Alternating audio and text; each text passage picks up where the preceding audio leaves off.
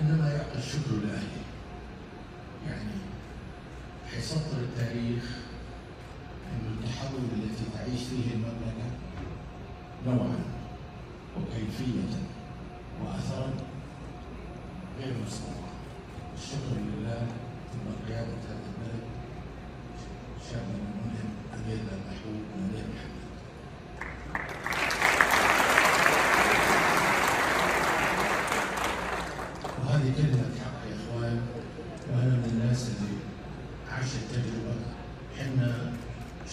في الرؤية وجلدنا نفسنا على الرؤية وتذكر أيام اول ما بدينا الرؤية كل يوم كان ناخذ الرؤية سواليف واليوم كل شاب وشاب وكل مواطن ومواطن مواطنة فخور بهالرؤية اللي حولت البلد وان شاء الله الجاي والقادم أفضل وأحسن.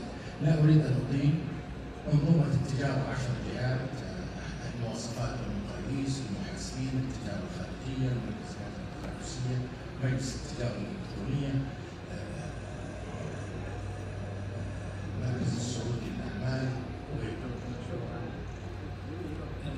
العرض سبع محاور رئيسية هنتكلم بداية عن منطقة هنا المنطقة لو تلاحظوا هذا مؤشر لا لا يهمك شيء طبعا أنا شرفني شوفوا كيف تحت زيادة حجم التبادل التجاري أول شيء على مستوى المملكة في الخمس سنين الماضية والميزان التجاري. هذا مؤشر الحمد لله صادراتنا زايدة وارداتنا زايدة.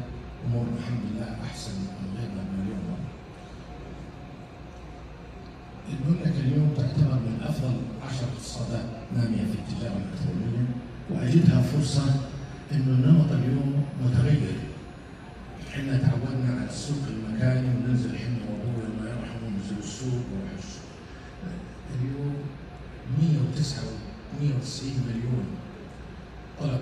تم توصيله خلال تطبيقات التوصيل اجمالي الإيرادات التجارة الإلكترونية متوقعه خلال 25 260 مليار وهكذا.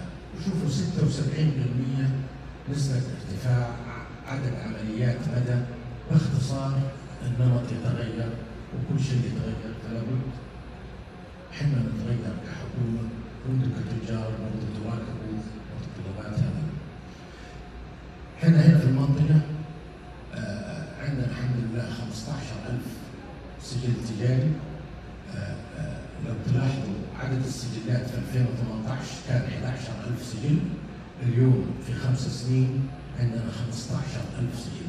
هذا برضه مؤشر في نمو في حراك والنمو مو فقط في المؤسسات بل أيضا الشركات. هذه القطاعات اللي نمت فيها لا أريد أن أطيل شوفوا ما شاء الله أقل نسبة آه، 46%